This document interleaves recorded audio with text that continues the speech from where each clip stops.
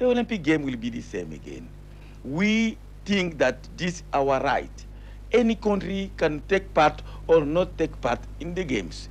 We have right to say we not take part in the games. No rule oblige us to take part in the games.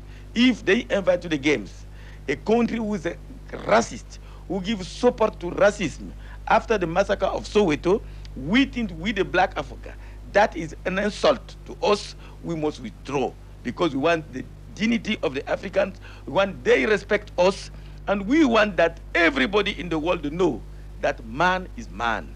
In sport, man must be man. And after the massacre of Soweto, it's not a problem of sport only, it's humanitarian problem. It's not right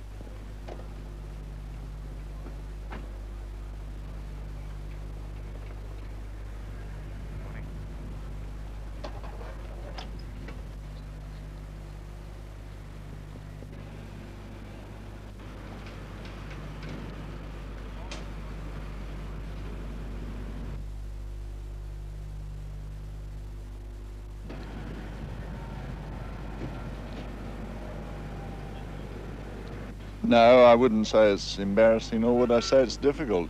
Uh, there's just no evidence of any change as far as we're concerned. Our main concern, frankly, is for the competitors who will now not have the opportunity of competing in the Olympics.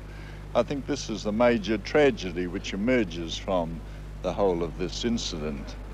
The Africans are talking about putting further pressure on you next week in an attempt to get the New Zealand team to withdraw, perhaps through having more African pullouts. What's going to be your reaction if there is more pressure?